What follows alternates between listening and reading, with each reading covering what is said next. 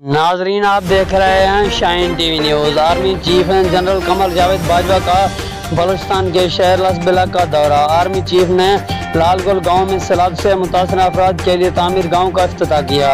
गाँव लाल गाँव ने हालिया सैलाब में बुरी हालत तबाह हो गया है। स्कूल को न ऑफ़ न गाड़ी शमसी तोानाई से बिजली फराहम की जाती है। गाँव को दोबारा मुकम्मल करने के लिए पाक फौज ने गाँव वालों से ये वादा किया था। आर्मी चीफ को एफ़ डब्ल्यू ओ के डायरेक्टर जनरल, ने मेजर, ने जनरल कमाल अजफर ने बहाली के काम की, ने पेश रफ्त के बारे में ब्रीफिंग दी।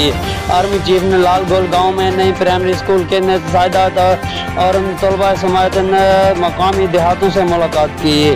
पाक फौज वफाकी और सूबाई हुकूमतों के तावन से बहाली की। अमल को तेज़ करने के लिए हर मुमकिन कोशिशें जारी रखेंगी। Army chief